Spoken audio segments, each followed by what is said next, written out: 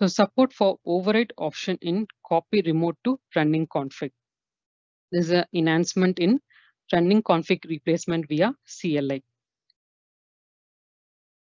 So by default, the CLI configuration included in the config file is put on top of the running config rather than replacing the existing running config.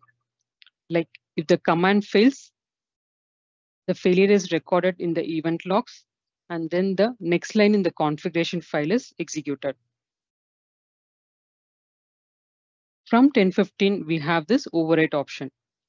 So the overwrite option in the 1015 release onwards helps with the config replacement.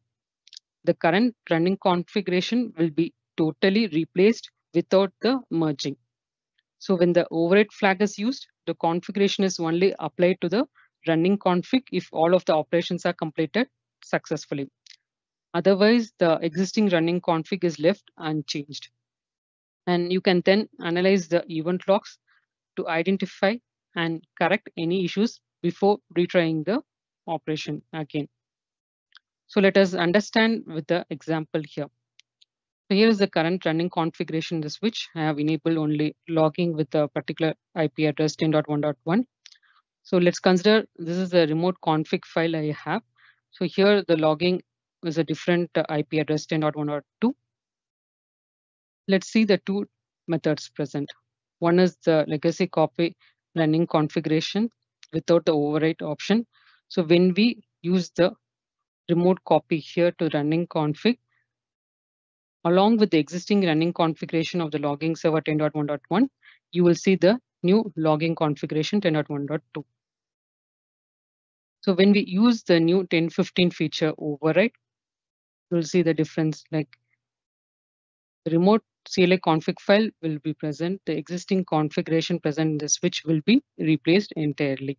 So you will see only the logging 10.1.2.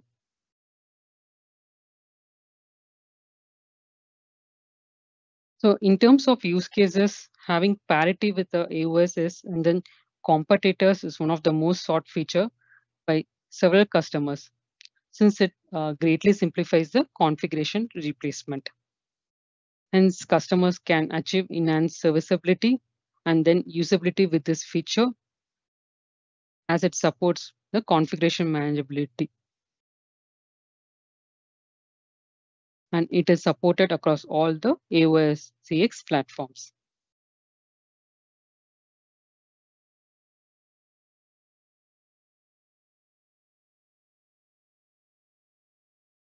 So let's see the configuration syntax here. Copy and then the remote URL running configuration. Additionally, the VRF along with the overwrite option. So when we execute this using sample SFTP as a remote URL, along with overwrite option, it will request, since it is the SFTP, it will request for the password and then it will mention whether the copy configuration is successful.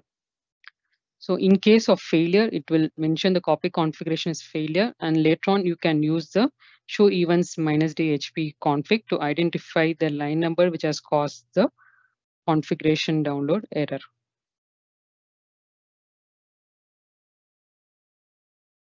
So let's see the details and caveats for this feature. So if there are more than 20 failures when utilizing the override flag, so the operation stop processing any more commands and the errors are recorded in the event logs. To keep the switch from losing the connection, the current admin credentials are kept if the configuration file does not contain them when the override flag is used. So if the user uh, wishes to intentionally change the admin credential, so they can rewrite the current admin user configurations by specifying the desired credentials in the config file.